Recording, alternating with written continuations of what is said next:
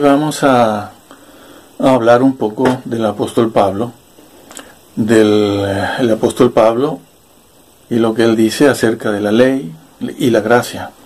Aquello que se está diciendo de que Pablo es una persona que se inventó él mismo un evangelio diferente, un evangelio que no es el que predicó Jesús, un evangelio que va contra la ley de Moisés, va contra el decálogo, que, que Pablo no es eh, discípulo mm, de Jesús y que, y que Pablo es un mal judío, un mal rabí, un apóstata y que se inventó un evangelio, repetimos, diferente al, al que predicó nuestro Señor. Eh, están blasfemando mm, del apóstol Pablo tanto los mesiánicos, la mayoría de los mesiánicos, y también lo están haciendo los cristianos, de manera especial los cristianos evangélicos.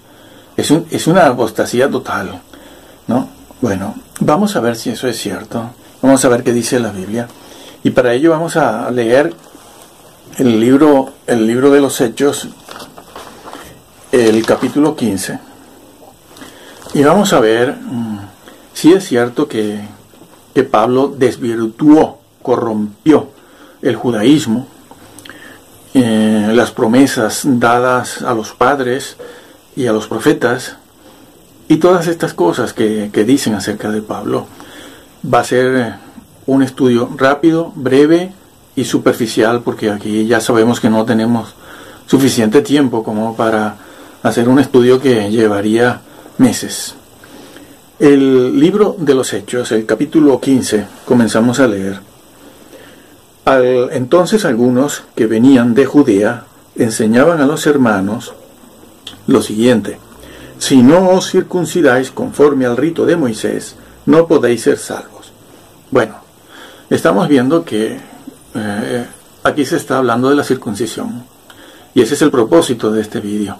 Aclarar si la circuncisión hace falta o no hace falta. Salva o no salva. Bueno, ya estamos viendo que en aquel tiempo, en la iglesia primitiva, la iglesia apostólica, eh, el problema está presente. Allí, hay, allí ah, habían algunas personas que decían lo siguiente, si no os circuncidáis conforme al rito de Moisés, no podéis ser salvos. El tema aquí es la salvación. No es sólo la santificación, es la salvación misma.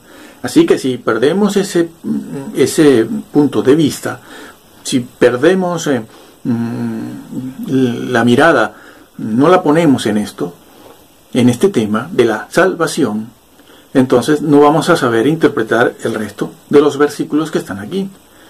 La base es la siguiente. Y consiste en que habían algunos judíos, algunos judíos cristianos, algunos, ah, también hubieron los judíos ortodoxos, no cristianos, de aquel momento, de aquella época. Pero aquí hay, tenemos judíos cristianos convertidos que mm, decían, decían al resto de la iglesia, que si no se circuncidaban, no podían ser salvos. No, no podían ser salvos. Ese es el tema. A partir de ahí vamos a ver qué pasa y qué sucede. Bueno, venían a dónde? Pues a Antioquía, donde está Pablo, donde está Bernabé. Antioquía era el, la sede del, cristianismo gentil en, aquel, en aquella época. No Jerusalén, Jerusalén era una sede judía, judía cristiana. Pero Antioquía, donde está Pablo, donde Pablo se reunía, donde Pablo mm, pues compartía con los hermanos, es una sede gentil de cristianos gentiles, que habían judíos convertidos también, también. Y son esos judíos convertidos los que le están diciendo a sus hermanos gentiles, cristianos gentiles, les dicen, si tú no te circuncidas y guardas la ley de Moisés, no puedes ser salvo, no eres salvo. Bueno, vamos a ver también a qué ley de Moisés se referían ellos. El versículo 2 dice, como Pablo y Bernabé tuviesen una discusión y contienda no pequeña con ellos, claro, porque Pablo y Bernabé mm, mm, decían que los gentiles, entiéndase esto bien, los gentiles no tienen que circuncidarse. No tienen, no tenían que circuncidarse. Pues como ellos enseñaban esto, eh, pues tenían una discusión muy fuerte con los judíos cristianos que sí querían la circuncisión de los gentiles. Como Pablo y Bernabé tuviesen una discusión y contienda no pequeña con ellos, se dispuso que subiesen Pablo y Bernabé a Jerusalén. Subiesen a Jerusalén porque en Jerusalén están todos los apóstoles, allí se van a reunir todos, todos los apóstoles, en la sede judía, la sede judía cristiana. Vamos a ver qué, dicen los judíos, cristianos convertidos de aquel momento, donde están todos los apóstoles. ¿eh? Como vamos a ver, no es que está solo Pedro o Jacobo o Juan, no, no, están todos allí. Se dispuso, ¿quiénes dispusieron? Pues los hermanos gentiles, creyentes, cristianos de la sede de Antioquía, la sede gentil. Y algunos otros de ellos, habían otros, habían otros también de esa sede que van a subir, dice la Biblia, a Jerusalén, a los apóstoles y a los ancianos para tratar esta cuestión. ¿Cuál cuestión? Bueno, tenía que, tenía que decidirse de una vez por todas bajo qué términos se, iba a, se iban a integrar los gentiles dentro del pueblo judío. Eso es. Aquello de lo que nos habla Romanos 11, de que los gentiles han sido injertados en la vid, injertados en la vid, porque algunas ramas han sido desgajadas, algunas ramas de esa, vid, de esa vid, es decir, del pueblo judío, algunas ramas han sido desgajadas. No todo, no todos los judíos, no todos los israelitas, no todos los judíos han sido desgajados. Israel mm, ha sido desechado en forma parcial, según Romanos 11, pero ese, eso no es lo que estamos viendo aquí. Entonces, se dispone que mm, mm, Pablo y Bernabé suban a Jerusalén, a la sede judía, a ver qué dicen los apóstoles y los ancianos. Tienen que tratar ese tema, repito, en bajo qué condiciones vamos a aceptar a los gentiles dentro del pueblo de Dios, dentro del reino. ¿Por qué? Porque había de una vez por todas que darle un carácter legal a la predicación de Pablo. Pablo está predicando salvación por gracia, algo que casi todos los cristianos desconocen lo que es eso. Aquí haremos una referencia breve de eso. ¿Qué es salvación por gracia? Bien, pero había que darle un carácter legal, mm, aceptar, eh, la, examinar la forma en que eh, los gentiles pueden formar parte del pueblo judío de Israel, porque habían discusiones como estamos viendo. Unos decían una cosa, otros decían otra. ¿Cómo los gentiles van a formar parte de nuestro pueblo? Bueno, versículo 3. Ellos pues, habiendo sido encaminados por la iglesia, la iglesia de Antioquía, pasaron por Fenicia y Samaria, contando la conversión de los gentiles. Pablo y Bernabé van, van camino a Jerusalén y mientras tanto pues se van, se van encontrando con hermanos en diferentes pueblos, aldeas y van hablando de la conversión de los gentiles contando la conversión de los gentiles y causaban gran gozo a todos los hermanos, hermanos gentiles y también judíos convertidos. Y llegados a Jerusalén fueron recibidos por la iglesia. ¿Cuál iglesia? La iglesia de Jerusalén, que era la sede judía. Recuérdese que la iglesia mm, apostólica, la primera que nació allí en el aposento alto en el día del Pentecostés, era una iglesia totalmente judía. Son judíos los que están allí, todos, Vamos a escucharlos a ellos, a ver qué nos dicen. Bueno, eh, llegaron a Jerusalén y fueron recibidos, fueron recibidos por la iglesia y los apóstoles y los ancianos y refirieron todas las cosas que Dios había hecho con ellos. Tan pronto llegar, tan pronto llegaron Pablo y Bernabé y otros, otros, otros que les acompañaban, ellos empezaron a contar también allí, ah, de manera quizás informal, pues todo lo que el Señor había hecho en el ministerio de ellos, cuando iban por tierras gentiles y, e iban hablando en, las sinagogas al principio ah, del Señor Jesús y la salvación y lo que había pasado en Jerusalén con el ministerio de Jesús, su muerte, su crucifixión y su resurrección. Versículo 5. Pero algunos de la secta de los fariseos que habían creído, aquí está, habían creído, allí en Jerusalén, se levantaron diciendo, es necesario circuncidarlos y mandarles que guarden la ley de Moisés. Estos enseñaban lo mismo que estaban enseñando los judíos convertidos en, la iglesia en la sede de Antioquía. Y aquí en Jerusalén estos hermanos cristianos judíos convertidos al cristianismo también dicen lo mismo. Después de haberles oído a, a Pablo y a Bernabé, dicen lo mismo. Dicen, no, no, no, que se circunciden y guarden la ley para ser más santos. Bueno, no, aquí el tema no es ese para que sean más judíos. No, no, no, aquí el tema tampoco es ese. El tema es para que sean salvos. ¿Cómo se salvo? Esa es la gran pregunta. ¿Cómo se salvo? Versículo 6. Y se reunieron los apóstoles y los ancianos para conocer este asunto. asunto. Bueno, aquí viene ahora la reunión de iglesia, por llamarla así, de esa manera tal y como nosotros la, conocemos eso en nuestros días, siglo XX, siglo XXI.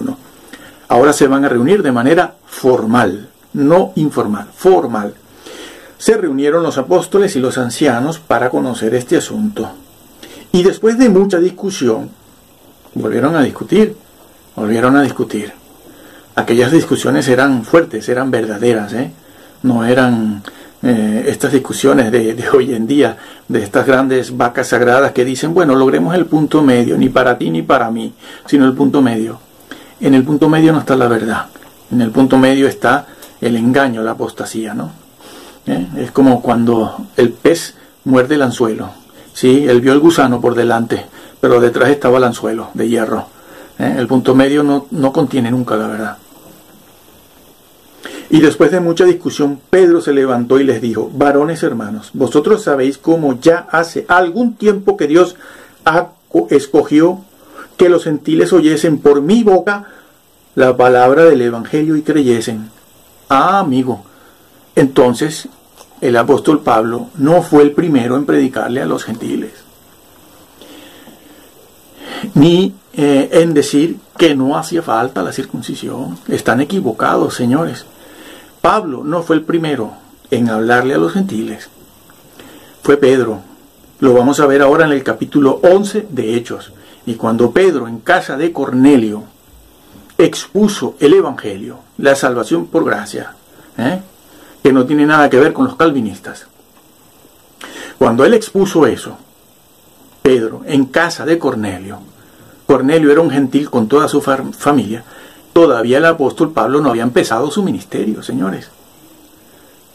Cuando Cornelio se convierte, todavía Pablo no sabe, no soñaba ni con predicar. ¿No se han dado cuenta de eso?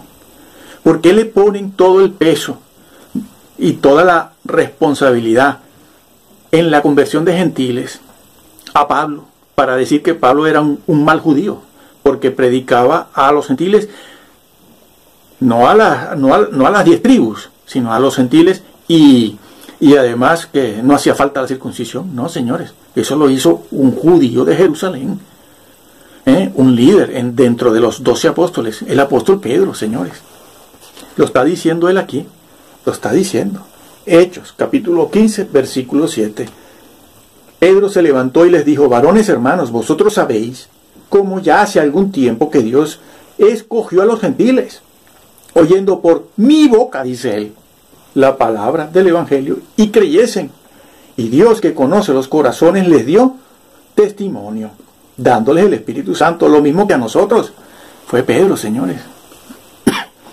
Les han engañado. Y se dejan engañar porque sabemos que, y eso, esto en psicología también se sabe, se conoce muy bien, les gusta que les engañen. Les gusta, sí, sí. Está en Hechos 11 vamos a ver, mucho antes de que Pablo se convirtiera. Capítulo 11 de Hechos, versículo 1. Oyeron los apóstoles y los hermanos que estaban en Judea, que también los gentiles habían recibido la palabra de Dios. Y cuando Pedro subió a Jerusalén, disputaban con él. Ahora disputan con Pedro, aquí, antes, antes que con Pablo. Ya lo habían hecho con Pedro. Disputaban con él, con Pedro, los que eran de la circuncisión. Claro, ¿por qué? Porque Pedro no les impuso la circuncisión. No estén, no estén responsabilizando al apóstol Pablo de lo que él no es responsable. Hasta llamarlo hijo, hijo de aquel. No, yo no lo diré. Hijo de aquel, el, príncipe de las tinieblas. Sí, lo hacen los judaizantes y algunos cristianos evangélicos también. ¿eh? También lo hacen. Por el tema de la ropa y todo esto. Señores, ¿qué están haciendo? Se están condenando. Si está, está escrito, está aquí. ¿Por qué no lo leen? Dejen de estar responsabilizando al apóstol Pablo. Es Pedro. Diciendo, le decían a Pedro, ¿por qué has entregado, por qué has entrado en casa de hombres incircuncisos, Cornelio, y has comido con ellos? Entonces comenzó Pedro a contarles por orden lo sucedido diciendo, etcétera. ¿Qué les va a contar Pedro aquí en la reunión donde está Pablo y Bernabé? Donde están todos reunidos para tratar el tema que ya dijimos antes. ¿Eh?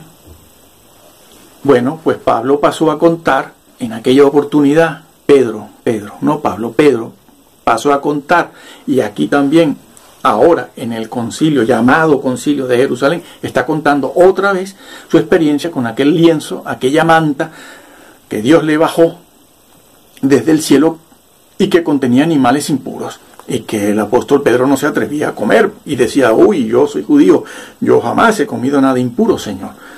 Y el Señor le dijo, come, no llames tú impuro lo que yo he purificado, lo que yo he purificado.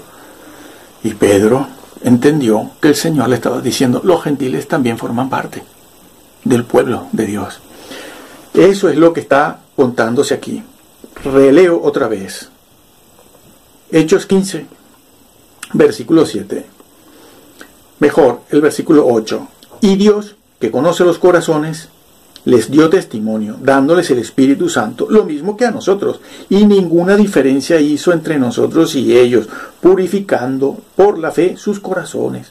Ahora pues, ¿por qué tentáis a Dios poniendo sobre la cerviz de los discípulos, aquellos discípulos eh, gentiles convertidos, un yugo que ni nuestros padres ni nosotros hemos podido llevar.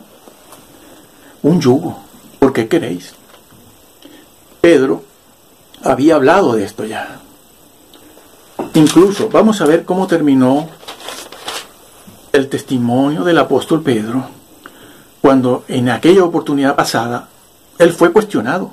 Él fue cuestionado, fue preguntado y por la iglesia de Jerusalén, que era completamente judía. ¿Y, qué dijo la iglesia de Jerusalén? Allí no estaba Pablo, en el capítulo 11 de Hechos. Bueno, vamos a ver qué resolvió la iglesia de Jerusalén con respecto a Pedro. No a Pablo, a Pedro. Entonces, oídas estas cosas, callaron y glorificaron a Dios, diciendo, de manera que también a los gentiles ha dado Dios arrepentimiento para vida.